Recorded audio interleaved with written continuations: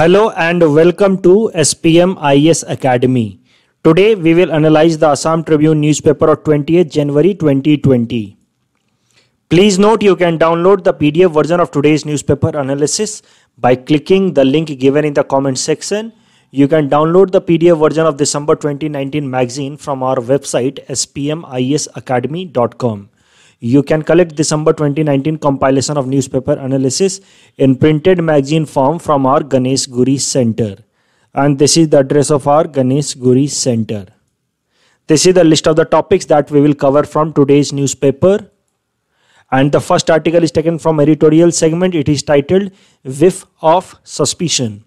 And this topic is important from your syllabus paper for internal security point of view or especially the subtopic various security forces and agencies and their mandate. तो इस पूरे article के help से हम लोग national investigation agency को पढ़ेंगे, उसके क्या क्या रिस्पॉन्सिबिलिटीज हैं, उसको समझेंगे और उसकी मदद से ये सब टॉपिक का एक सेगमेंट हम कंप्लीट कर पाएँगे। सो let us C in details so देखते हैं पहले इस आर्टिकल में क्या बताया गया है। This article talks about recently arrested deputy superintendent of police of Jammu and Kashmir Davinder Singh तो ये हैं दविंदर सिंह और रिसेंटली पाया गया कि he has been supporting a terrorist organisation Hizbul Mujahideen in Jammu and Kashmir और पाया गया कि he was in a process of sending three terrorist from Jammu and Kashmir to Delhi और उसी दरमियान इनको अरेस्ट कर लिया गया बाई नेशनल इन्वेस्टिगेशन एजेंसी और अब जब इंक्वायरी की जा रही है तो पता चल रहा है कि he has been supporting terrorist organisation for last 25 years इनका हाथ जो 2001 में पार्लियामेंट के ऊपर अटैक हुआ था, उनमें भी था। और हाल फ़िलहाल में जो पिछले साल पुलवामा के अंदर सीआरपीएफ जवान पे अटैक हुआ था, जिसमें 40 सीआरपीएफ जवान मारे गए थे। Now it is suspected that he played a role in that attack also यानी कि पिछले कई सालों से he has been playing an active role in supporting terrorist organisation operating from Jammu and Kashmir but फिर भी हमारी जो इन्वेस्टिगेशन एजेंसी है, जो एंटी टेररिस्ट एजेंसीज हैं, जैसे कि नेशनल इन्वेस्टिगेशन एजेंसी उनकी आँखों से ये बचा रहा और ये ऑपरेट करता रहा। That raises a big question on the investigative agencies like national investigation agency ऐसा इस आर्टिकल में बताया गया है। पिछले साल दविंदर सिंह को प्रेसिडेंट गैलेंट्री मेडल अवार्ड भी मिला था। तो इससे पता चलता है कि कैसे हमारी बहुत सारी जो एंटी टेररिस्ट एजेंसीज हैं, उनको और भी ज़्यादा इम्प्रूवमेंट की ज़रूरत है। इस तरह के लोग पुलिस ऑर्गेनाइजेशन के अंदर एक्टिवली पार्टिसिपेट कर रहे हैं ऑपरेट कर रहे हैं और फिर भी हमें 25 सालों तक पता नहीं चल पा रहा है। It raises a big question ऐसा इस आर्टिकल में बताया गया है।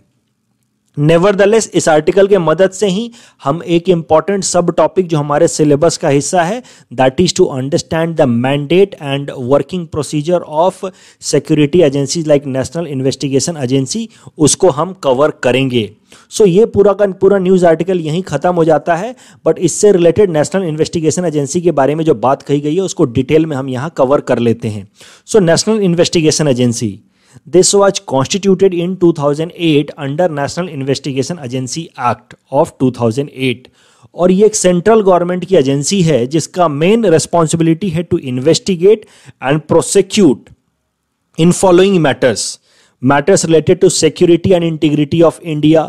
matters related to security of nuclear facilities and matters related to counterfeit of Indian currency. तो इन तीन मैटर से रिलेटेड अगर कोई भी अपराध हो रहा है, कोई भी क्राइम हो रहा है, जैसे ऐसा कोई भी crime that challenges and integrity of India and specially if that offence is mention under unlawful activities and prevention act तो उन सारे मैटर्स पे इन्वेस्टिगेशन करना, यानी कि जाँच करना और प्रोसिक्यूट करना, यानी कि कोर्ट में उसको साबित करके दोषी को सजा दिलाना। उसको कहते हैं प्रोसिक्यूशन ये दोनों ही ज़िम्मेदारी होगी नेशनल इन्वेस्टिगेशन एजेंसी की, जो एक सेंट्रल गवर्नमेंट की एजेंसी है, जिसको बनाया गया 2008 में through an act known as national investigation agency act of 2008 तो अगर कोई भी ऐसा क्राइम हो रहा है जिससे देश की सिक्योरिटी एंड इंटीग्रिटी पे खतरा है, या कोई भी ऐसा क्राइम हो रहा है जिसके, जिससे देश की एटॉमिक फैसिलिटीज़ पे या न्यूक्लियर फैसिलिटीज़ पे खतरा है, या कोई भी ऐसा crime that involves counterfeit of Indian currency यानी कि जाली नोटों का धंधा अगर चल रहा है किसी भी एक्टिविटीज़ में तो उन सारे एक्टिविटीज़ के अगेंस्ट इन्वेस्टिगेशन करना और उन सारे क्रिमिनल्स को सजा दिलाने की ज़िम्मेदारी इस सेंट्रल गवर्नमेंट की एजेंसी का है, जिसका नाम है नेशनल इन्वेस्टिगेशन एजेंसी और इस एजेंसी का हेड क्वार्टर न्यू दिल्ली में है, लेकिन इसके अलग अलग शहरों में ब्रांचेज हैं। इसके ब्रांचेज है हैदराबाद में, गुवाहाटी में, कोची में, लखनऊ में, मुंबई, कोलकाता, रायपुर एंड जम्मू में। कम से कम आप इतना याद रखेंगे कि पूरे नॉर्थ ईस्ट का जो सेंटर है नेशनल इन्वेस्टिगेशन एजेंसी का वो गुवाहाटी में है। एपीएससी प्रीलिम्स एग्ज़ाम में पूछा जा सकता है। तो अब एक बार जरा ब्रीफली ये भी समझ लेते हैं कि आखिर 2008 में नेशनल इन्वेस्टिगेशन एजेंसी क्यों बनाई गई? तो आप सबको पता होगा कि नवंबर 2008 में मुंबई के ऊपर एक टेररिस्ट अटैक हुआ था।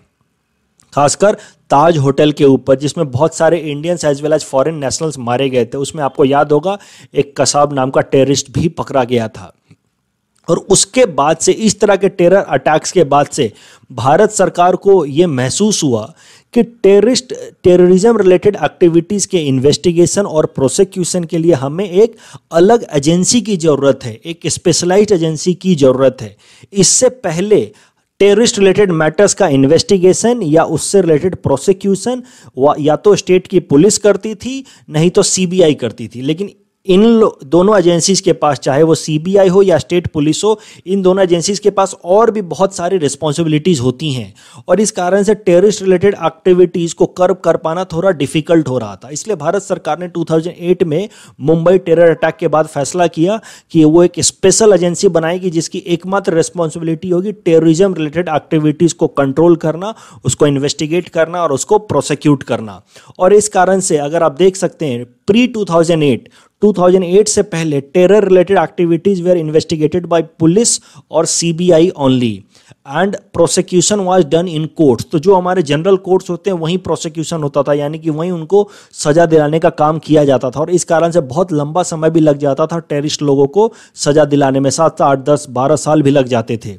और इस कारण से 2008 में भारत सरकार ने एक नया कानून बनाया national investigation agency act of 2008 उसके हिसाब से एक अलग एजेंसी बनाई और उस एजेंसी को मेन रिस्पॉन्सिबिलिटी दिया गया कि अब टेरर रिलेटेड एक्टिविटीज़ को वही एजेंसी इन्वेस्टिगेट करेगी। और उसके लिए जो प्रोसिक्यूशन होगा, वो वही एजेंसी कराएगी। तो post 2008 terror related activities are now investigated by national investigation agency और एक स्पेशल कोर्ट्स भी बनाए गए। उन कोर्ट्स का नाम रखा गया national investigation agency courts N I A courts और टेररिज्म रिलेटेड जितने भी मैटर्स होंगे, वो इन कोर्ट्स में रखे जाएँगे ताकि फास्ट रिड्रेसल किया जा सके और इन टेररिस्ट लोगों को जल्दी से जल्दी सजा दिलाया जा सके। हाल फ़िलहाल में 2009 में नेशनल इन्वेस्टिगेशन एजेंसी एक्ट को अमेंड भी किया गया है और उसको अमेंड करके कुछ नए ऑफेंसेज भी ऐड किए गए जैसे हमने पहले देखा कि केवल तीन तरह के offences national investigation agency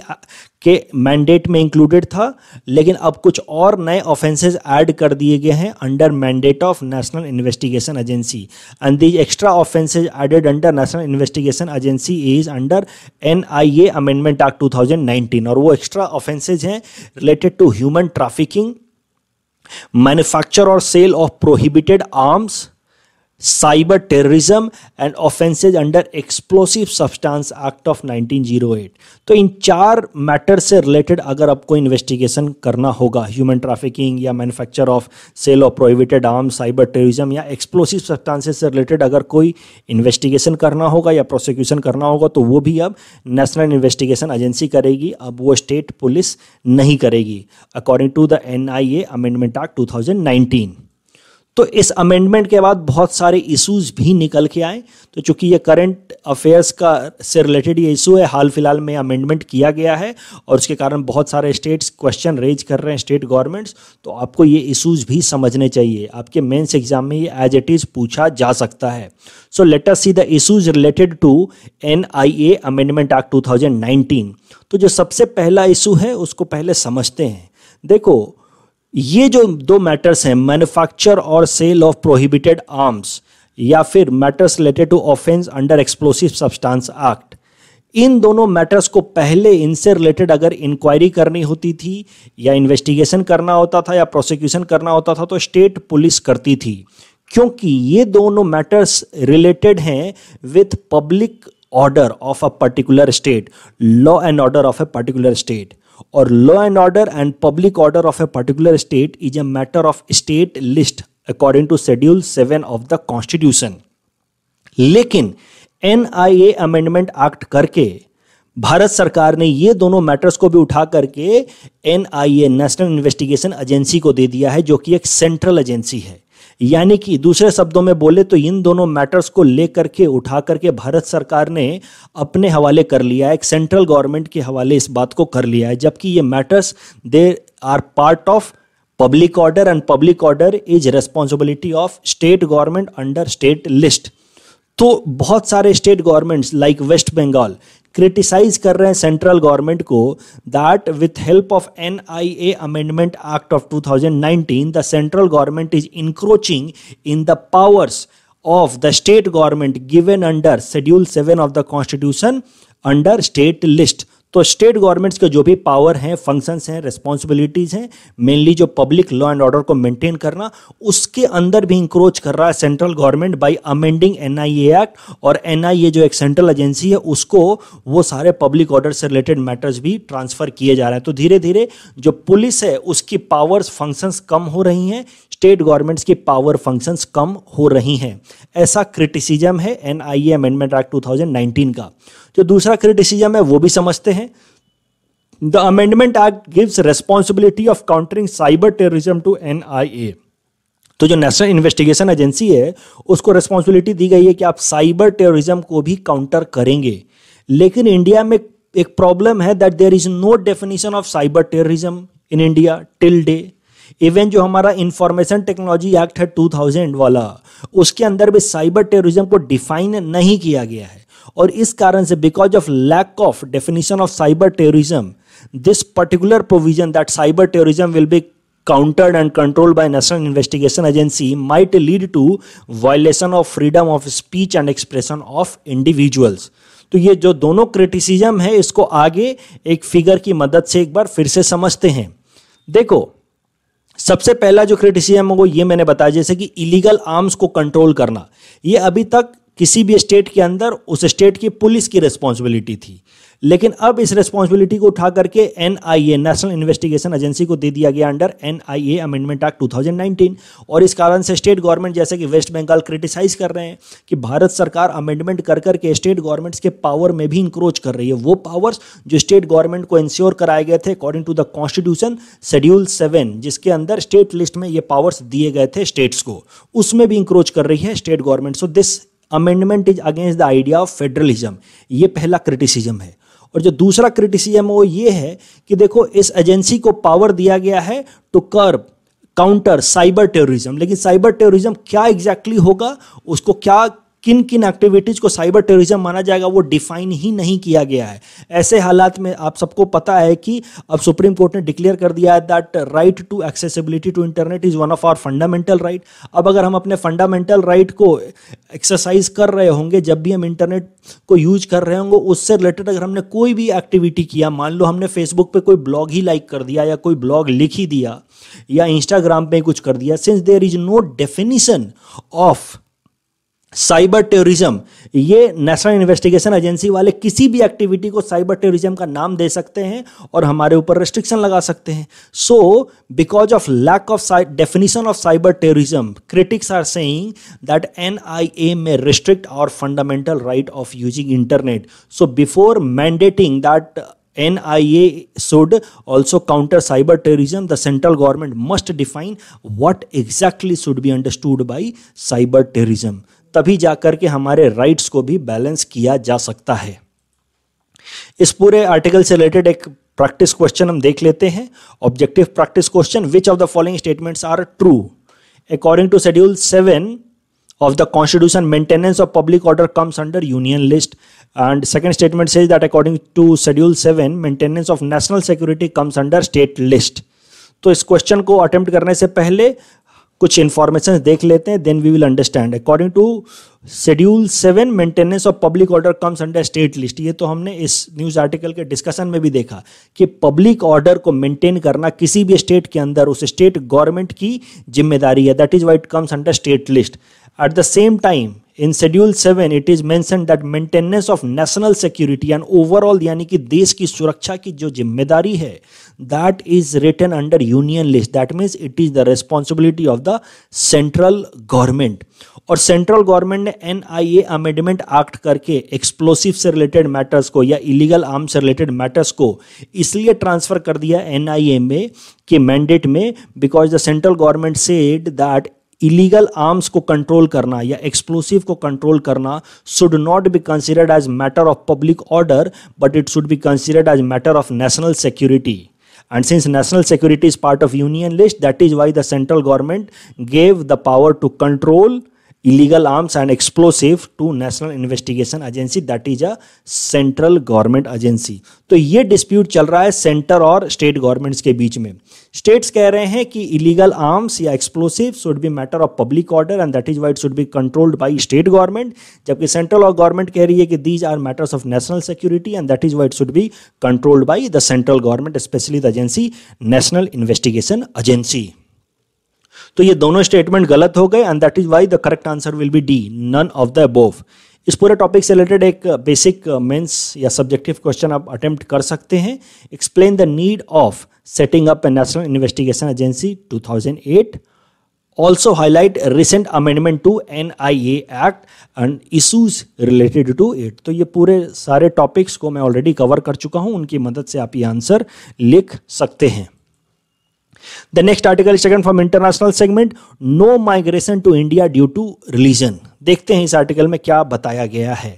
And this topic is important from your syllabus paper three international relation point of view India and its neighbourhood relation so एक बार जरा बैकग्राउंड देखते हैं। आप सबको पता है कि इंडियन पार्लियामेंट ने दिसंबर में एक लॉ बनाया जिसका नाम है सिटीजनशिप अमेंडमेंट एक्ट और इस लॉ के हिसाब से कुछ इलीगल माइग्रेंट्स जो नॉन मुस्लिम कम्युनिटी को बिलोंग करते हैं and if they have come from countries like Pakistan Afghanistan और Bangladesh before thirty first December 2014 will be given citizenship of India ये प्रोविज़न तो आप सब जानते ही हैं, बहुत बार हम इसको अपने न्यूज़पेपर आर्टिकल में कवर कर चुके हैं। और इस पूरे एक्ट के कारण आसाम के अंदर खासकर और पूरे इंडिया भर में प्रोटेस्ट चल रहा है against the government people are protesting that citizenship amendment act is unconstitutional un unreasonable the reason given by the central government for bringing this law वो भी आप जानते ही लेकिन एक बार फिर भी देख लेते हैं। भारत सरकार ने जो कारण बताया वो ये है कि ये सारे जो रेफ्यूजीज जो इंडिया में रह रहे हैं those who have come from Pakistan Afghanistan और Bangladesh before thirty first December 2014 वो सारे रिफ्यूजीज इंडिया में इसीलिए रह रहे हैं बिकॉज़ दे आर परसिक्यूटेड और harassed in their own country on religious ground since all these three countries are Muslim countries और इन सारे कंट्रीज़ में लोगों को हरास किया जाता है रीजन के नाम पे और इसी कारण से इन लोगों ने अपना देश छोड़ करके इंडिया में रिफ्यूजीज की तरह आकर के रहना प्रेफर किया है। और इस कारण से भारत सरकार ने यह फैसला लिया है कि इन सबको इंडिया की सिटीजनशिप दे देनी चाहिए, क्योंकि these people can not go back to their own land because if they go back to their own country again then they will face religious prosecution again और इस कारण से इनको बचाने के लिए, इनकी हरासमेंट से इनको बचाने के लिए इन लोगों को इंडिया की सिटीजनशिप दी जानी चाहिए, ऐसा भारत सरकार ने आर्ग्यूमेंट दिया है। तो एक बार फिर से इस फिगर की मदद से समझते हैं, भारत सरकार कह रही है that these people are harassed on religious basis and these people have no other place to go and that is why they should be given citizenship of india and that is why they have been awarded citizenship of india under citizenship amendment act of 2019 लेकिन बिल्कुल इसके contrary इसके counter में बांग्लादेश के तरफ़ से statements आ रहे हैं कुछ दिनों पहले बांग्लादेश के फॉरेन मिनिस्टर ए के अब्दुल मोमेन साहब ने कहा that Bangladesh is ready to take back its citizen out of India if India gives proper list तो बांग्लादेश सरकार ने कुछ दिन पहले एक स्टेटमेंट रिलीज़ किया जिसमें उसने कहा कि वो अपने जो भी बांग्लादेशी लोग इंडिया में रह रहे हैं, उनको वापस लेने को तैयार है, अगर भारत सरकार एक प्रॉपर लिस्ट बना करके दे कि इतने लोग बांग्लादेशी इंडिया में रह रहे हैं। यानी कि the government of Bangladesh in other way in also is guaranteeing कि इन सारे लोगों का रिलीजियस प्रोसिक्यूशन नहीं होगा अगर वो बांग्लादेश में वापस आ गए तो। तो जब बांग्लादेश सरकार कह रही है कि इन लोगों को रिलीजियस ग्राउंड पे हरास नहीं किया जाएगा, फिर भी भारत सरकार ने इन लोगों को इंडिया की सिटीजनशिप दे दी। दैट इज़ फ़र्स्ट क्रिटिसिज्म दूसरा, अब जो ये न्यूज़ आर्टिकल है हाल फ़िलहाल में, वो निकल गया जिसको हम कवर कर रहे हैं। अब बांग्लादेश की प्राइम मिनिस्टर शेख हसीना जी ने खुद ही कह दिया है कि there is no migration in India due to religious prosecution तो अब बांग्लादेश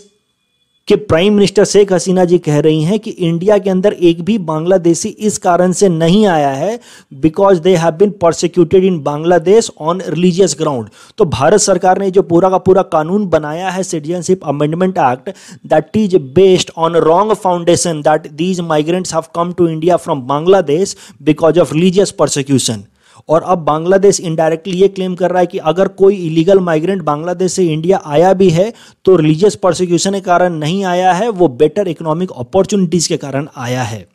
तो ये अब इनडायरेक्ट कंफ्लिक्ट निकल के आ रहा है बांग्लादेश और भारत के बीच में। भारत सरकार ने कानून बना दिया और अब उस कानून को इनडायरेक्टली क्रिटिसाइज कर रहे हैं बांग्लादेश के फॉरेन मिनिस्टर और बांग्लादेश के प्राइम मिनिस्टर नेवर हमें तो एग्ज़ाम पॉइंट ऑफ़ व्यू से समझना है कि हम ये पूरे इशू को कैसे यूज़ कर सकते हैं। So let us see how we can use this information in our answer writing तो जब भी हम सिटीजनशिप अमेंडमेंट एक्ट को लिख रहे हो ऑफकोर्स हमें उसका क्रिटिकल एनालिसिस आ सकता है। क्रिटिकल एनालिसिस में हमें उसका क्रिटिसिज्म भी लिखना होगा। क्रिटिसिज्म के कुछ पॉइंट्स तो ऑलरेडी हम कवर कर चुके हैं। जैसे कि citizenship amendment act is criticise as being unconstitutional as it is against the idea of secularism and it is also against the idea of right to equality since वो खाली non Muslim communities को ये provisions available हैं Muslim community के against ये provisions उनके लिए available नहीं है. That is why some thinkers are saying that this idea is against secularism and right to equality उसके अलावा you all know that the citizenship amendment act is against the principle of Assam accord 1985 जिसमें central government ने promise किया था कि illegal Bangladeshi immigrants को identify किया जाएगा और उनको डिपोर्ट किया जाएगा आउट ऑफ़ आसाम लेकिन अब उसको यू टर्न ले लिया उस पर भारत सरकार ने with help of citizenship amendment act अब तीसरा क्रिटिसिज्म हमें मिल गया है with help of this particular article जिसको हम लिख सकते हैं इस तरह से. That the act is framed without any credible data the act is based on the idea that these refugees have been staying in India due to religious persecution but this has been conflicted by Bangladesh prime minister Sheikh Hasina itself तो Bangladesh prime minister Sheikh Hasina madam ने खुद ही refute कर दिया है कि India के अंदर कोई रिलीजियस प्रोसिक्यूशन के कारण बांग्लादेशी आया ही नहीं है। और फिर भी भारत सरकार ऐसा अगर कानून बना रही है तो इससे साफ़ साफ़ ये पता चल रहा है कि the government has made this law without any credible foundation और without any credible data The next article is taken from National Segment. It is titled Four Sites Identified for Solid Waste Management Facility in the City. And this topic is important from your syllabus paper for ecology and environment point of view. तो एक बार जरा देखते हैं इस news article में क्या बताया गया this article says that the state government of Assam has submitted an affidavit to national green tribunal और इस अफिडेविट में कहा है स्टेट गवर्नमेंट ऑफ़ असम ने कि इसने चार लोकेशंस को आइडेंटिफाई किए हैं around Guwahati city in order to properly dispose the solid waste manage solid waste coming out of Guwahati city under solid waste management rules तो जो भी solid waste management rule हैं 2016 वाले उस हिसाब से हर एक म्यूनिसिपालिटीज़ को आइडेंटिफाई करने हैं सॉलिड वेस्ट डंपिंग एरिया जहाँ पे किसी भी सिटी के सॉलिड वेस्ट को डंप किया जाए और उसी हिसाब से आंसर करते हुए नेशनल ग्रीन ट्रिब्यूनल ने क्वेश्चन पूछा था गुवाहाटी म्यूनिसिपल कॉरपोरेशन से कि आप बताओ कि आपने कौन कौन से आई, एरियाज़ आइडेंटिफाई किए हैं for disposal of solid waste coming out from Guwahati city. और उसका जवाब देते हुए एक एफिडेविट में असम सरकार ने जवाब दिया नेशनल ग्रीन ट्रिब्यूनल को कि चार ऐसे एरियाज़ आइडेंटिफाई किए गए हैं around Guwahati city for disposal of solid waste coming from Guwahati city. तो इस पूरे टॉपिक से related we should cover solid waste management rules जो 2016 में सेंट्रल गवर्नमेंट ने दिया था। तो एक बार जरा ब्रीफली समझ लेते हैं सॉलिड वेस्ट मैनेजमेंट रूल्स क्या हैं। ये आपसे as it is mains exam में पूछा जा सकता है that what are solid waste management rules of 2016 तो कुछ इंपॉर्टेंट प्रोविज़न देख लेते हैं सॉलिड वेस्ट मैनेजमेंट रूल्स के। तो सॉलिड वेस्ट मैनेजमेंट रूल 2016 कहता है कि all solid waste generated should be segregated by the generator itself in two parts, biodegradable and non biodegradable तो जितने भी सॉलिड वेस्ट जनरेट होते हैं, उसको जनरेट करने वाला इंसान खुद ही सेग्रीगेट करेगा दो पार्ट में, biodegradable solid waste and non biodegradable solid waste. और जो बायोडिग्रेडेबल सॉलिड वेस्ट हैं, उनको प्रॉपरली प्रोसेस किया जाएगा और डिस्पोज किया जाएगा with in the premises itself जहाँ पे वो जनरेटर रहता है of the solid waste developer तीसरा पॉइंट ये है that the non biodegradable solid waste should be given to solid waste collectors of local municipality and the non degradable waste should be dumped in wastelands identified by the municipality and all urban areas will be covered under solid waste management rule 2016 तो ये पाँचों point को figure की मदद से समझते हैं with help of next slide तो देखो जो भी हमारे सॉलिड वेस्ट डेवलप कर रहे हैं हम हाउस होल्ड में, मान लो ये आप हैं तो आपके घर में जितने भी सॉलिड वेस्ट डेवलप हो रहे हैं, ये अब आपकी responsibility according to solid waste management rule कि आप उसको दो पार्ट में सेग्रीगेट करें degradable solid waste and non degradable solid waste degradable solid waste of course वो फ़ूड सॉलिड वेस्ट होंगे, इस तरह के। उनको आप सेग्रीगेट करके डिग्रेडेबल सॉलिड वेस्ट को डिकम्पोज करना और प्रॉपरली डिस्पोज करना आपकी रेस्पॉन्सिबिलिटी है। तो आप जिस हाउसिंग सोसाइटी में रह रहे होंगे, उस सोसाइटी के लोगों को मिल करके अपने ही कैंपस में, अपने ही प्रेमाइसिस में इस तरह की डिग्रेडेबल सॉलिड वेस्ट को डिस्पोज करने की फैसिलिटी सेटअप करनी है। और जो नॉन डिग्रेडेबल सॉलिड वेस्ट हैं, जैसे कि ये प्लास्टिक्स हो गया ग्लासेस हो गया, ये सब आपको देना है टू द म्यूनिसिपैलिटी कलेक्टर तो जो भी आपके यहाँ पे कचरा कलेक्ट करने वाले आते हैं म्यूनिसिपैलिटी जिनको अपॉइंट करता है, उनको आपको देना है खाली नॉन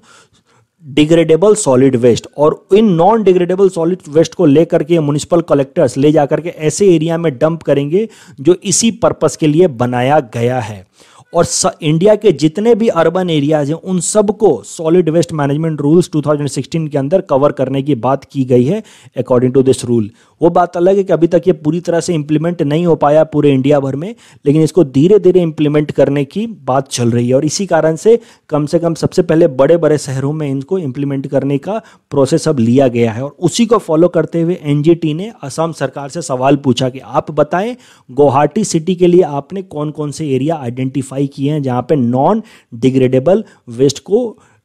डिस्पोज किया जा सकता है। और उसका जवाब देते हुए असम सरकार ने कहा है कि इसने चार एरियाज़ आइडेंटिफाई किए हैं इस तरह से। अब इसमें धीरे धीरे लोगों को अवेयर करना है और लोगों को पहले तो इक्विप करना है कि वो आइडेंटिफाई कर सकें और प्रॉपर तरीके से सेग्रीगेट कर सकें और अलग अलग हाउसिंग सोसाइटी को इक्विप करना है कि वो इस तरह के डिस्पोजेबल या डिग्रेडेबल सॉलिड वेस्ट को अपने कैंपस के अंदर ही प्रॉपरली डिस्पोज कर पाएँ और उससे कंपोस्ट बना पाए। तो ये सारी रिस्पॉन्सिबिलिटी स्टेट और सेंट्रल गवर्नमेंट के ऊपर है। है, जिसको धीरे धीरे within a time frame fulfil करने की कोशिश की जा रही है।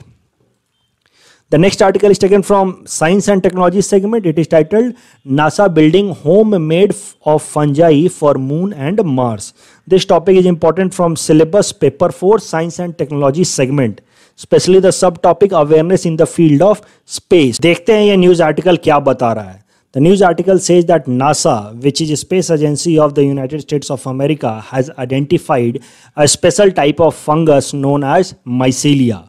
और ये जो माइसेलिया फंगस है ये जब ग्रो करता है तो इसके जो बॉडी पार्ट्स होते हैं they become very hard and this mycelia fungus can survive in very hard climatic conditions like moon and climatic conditions of Mars also और इस कारण से नासा के साइंटिस्ट प्लान कर रहे हैं कि ये जो माइसेलिया फंगस है इसके बॉडी पार्ट्स को यूज़ किया जा सकता है फॉर मेकिंग होम्स और building homes on the surface of moon and Mars for astronauts तो धीरे धीरे आप सबको पता है कि मून को कॉलोनाइज करने की बात चल रही है मून पे ह्यूमन सेटलमेंट कराने की बात चल रही है और मून जैसे हार्स क्लाइमेटिक कंडीशन पे जो होम्स बनाए जाएँगे वो नॉर्मल कंक्रीट के या ग्लास के या वुडन के नहीं बनाए जा सकते। तो नासा के साइंटिस्ट ने एक पर्टिकुलर टाइप का मटेरियल आइडेंटिफाई किया है। That material is body part of mycelia fungus जिसको यूज़ किया जा सकता है for the purpose of making home on moon surface तो ये मून सरफेस से आप देख सकते हैं मून सरफेस से सन किस, हमारा अर्थ किस तरह से दिखता है। तो मून सरफेस से माइसेलिया फंगस से हम होम्स बना सकते हैं, ऐसा नासा के साइंटिस्ट ने कहा है। इससे रिलेटेड एक नया इशू भी निकल के आ रहा है that is known as colonization of moon तो पूरे दुनिया में अगर देखा जाए तो जितने भी डेवलप्ड कंट्रीज़ हैं now they have engage in a race for space तो स्पेस के जितने भी एजेंसीज हैं या स्पेस के जितने भी एरियाज़ हैं, जैसे कि मून सरफेस हो गया मार्स हो गया, उन सबको कॉलोनाइज करने की अक्वायर करने का एक रेस चल रहा है दुनिया भर के कंट्रीज़ के बीच में। उसके कुछ एग्जाम्पल्स हम यहाँ देख सकते हैं। हाल फ़िलहाल में China has build lunar robotic station on moon तो चाइना ऑलरेडी अपने रोबोट्स के लिए एक स्टेशन बिल्ड कर चुका है मून सरफेस पे। अमेजन आपको पता है अमेजन एक बहुत बड़ी मल्टीनेशनल कंपनी है। उसने स्टार्ट किया है ब्लू मून प्रोजेक्ट और इस ब्लू मून प्रोजेक्ट के हिसाब से उनका एम है, उनका टारगेट है कि आने वाले दो तीन सालों में वो लोगों को मून सरफेस पे ले जाएँगे फॉर वैकेशंस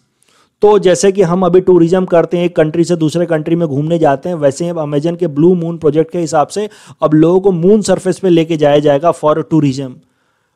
अमेरिका ने ऑलरेडी एक कानून बनाया है जिसके हिसाब से the USA has authorized US citizens to buy and sell lands on moon तो मून के ऊपर अब लैंड खरीदे और बेचे जा सकते according to a law made in USA तो इन सारे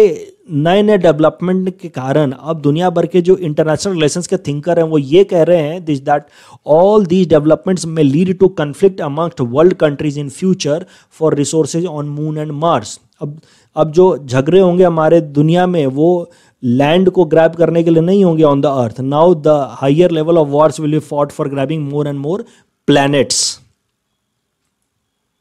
The next article is taken from Assam segment. It is titled Plastic Waste Management. Anganwadi centers to be constructed in Majuli using plastic waste bottles.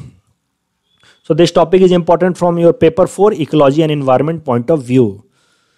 देखते हैं news article में क्या बताया गया news article कहता है कि जो मजूली डिस्ट्रिक्ट है रिवराइन मजूली डिस्ट्रिक्ट वहाँ पे वहाँ के डिस्ट्रिक्ट एडमिनिस्ट्रेशन ने फैसला लिया है कि जितने भी आंगनवाड़ी सेंटर्स होते हैं they will be now created with help of waste plastic bottles तो इस तरह के वेस्ट प्लास्टिक बॉटल्स को लिया जाएगा, उसके अंदर सैंड भरा जाएगा। और एम जी नरेगा के वर्कर्स को यूटिलाइज किया जा रहा है for putting up sand in these waste plastic bottles और ये sand filled waste plastic bottles को इस्तेमाल किया जाएगा for making anganwadi centres in Majuli administration Majuli district और एक बार अगर ये एक्सपेरिमेंट हिट हो गया, अभी तो ये पायलट प्रोजेक्ट की तरह इसको लॉन्च किया गया, लेकिन अगर एक बार ये एक्सपेरिमेंट हिट हो गया then this can be replicated and this will be very much helpful in curbing plastic waste across the state of Assam तो अभी इसको पायलट बेसिस की पायलट प्रोजेक्ट बेसिस पे लाया गया है। इसको हम कैसे यूज़ कर सकते हैं इन आर आंसर राइटिंग वो भी जरा देखते हैं। कभी भी अगर प्लास्टिक वेस्ट मैनेजमेंट पे क्वेश्चन हो तो वहाँ पे कहीं पासिंग रेफरेंस में we can use it as an example of best practices regarding plastic waste management वहाँ लिख सकते हैं कि Majuli administration has taken a step on pilot basis to use plastic waste for making anganwadi centres and this can be a best practices to be replicated across the state and this will help in plastic wastes across the state. Let us cover some prelims related facts that came in the newspaper. India has pledged $50 million security assistance to Sri Lanka. A human chain of 5 crore people and about 18,000 long, 18,000 kilometer long will be created in Bihar to create awareness regarding environment protection. The central government has proposed merger of three public insurance companies that are National Insurance Company, Oriental Insurance Company and United India Insurance. There is one more announcement from our side for APSC and UPSC civil services aspirants. We at SPMIS Academy have launched UPSC Prelims 2020 and APSC Prelims 2020 test series. UPSC Prelims 2020 test series will cover 19 tests. It will have 10 sectional tests, 5 full test and 4 test for CSAT. While APSC Prelims 2020 test series will include 20 tests, it will have 10 sectional tests, 6 full test and 4 CSAT tests. The first test for both UPSC and APSC will be conducted on 26th January 2020 and complete solution for each and every test shall be provided. For any query, you can contact us on these contact details. That's all from our side. Thanks for watching.